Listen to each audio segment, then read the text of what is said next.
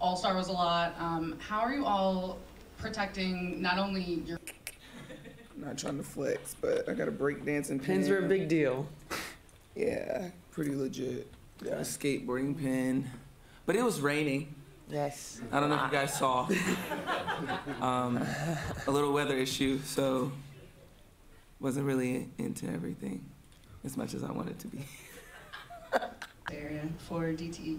You had the quote in the 144 documentary, why can't old people Put it on the BBC. Uh, it looked beautiful.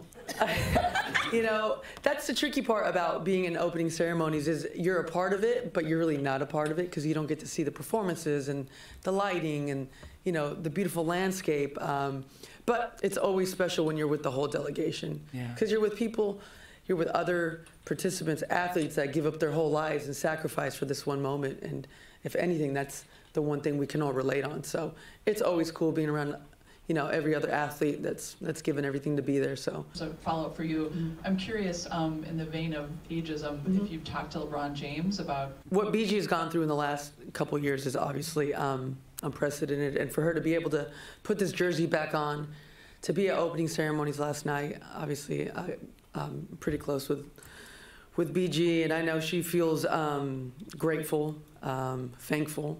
Um, the situation she was in, obviously, we don't wish that upon anyone, and you know, to this moment, there's still people overseas um, in situations just like her. Um, and I know behind the scenes, she's still doing as much as she can to make sure all those names are being brought to the forefront. Um, so for her to be able to, to come back, to get on that flight, to come overseas, it was a big moment for her in a lot of ways. Um, but I'm glad she did it because she's a remarkable person. I know we see her on the court as being an intimidating, dominant force, but I always say she's the person with the biggest heart. I was curious, the WNBA did so much in 2020 with the election and now Obviously, travel is important, safety is important, security is important for for every Olympian um, here in Paris, and I think they've done an- amazing job of, of, of that, especially last night at opening ceremonies. Um, I think travel still, um, you know, we're, not sure if we're going to train or bus. I think that's still to, to be determined, but you know, we have confidence in our security team and and in, in the Olympics and keeping us safe. So we'll get there. You know, it is what it is. On the right. Hi, Natasha Dye, People Magazine. Um, I'd love to hear about your You're experience. formally invited to Ruby's birthday party. You can party. drink at mine. We'll have some juice. Um, yeah, I, honestly, I don't know. I think that we're we're gonna have our our family's gonna be there. Um, there's a ton of kids with our Team USA group, um, so I'm sure we'll find something fun, very Paw Patrol like. Um, but it'll just be um, a great day for her, for her, and you know, for us, we'll just be continuing on our journey.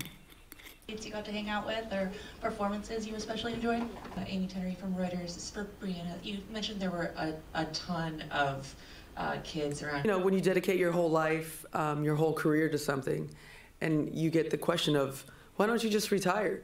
And, um, you know, it's something I've been doing since I was five. It's something that I've dedicated my whole life to.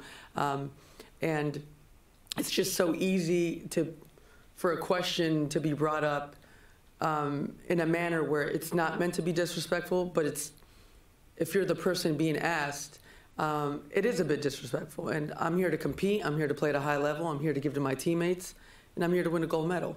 Um, that's it. I don't care about the last 20 years. I'm worried about the next 20 years. Questions? Uh, thank you, everyone, for uh, joining us. my book's coming out in a month. Little book to read.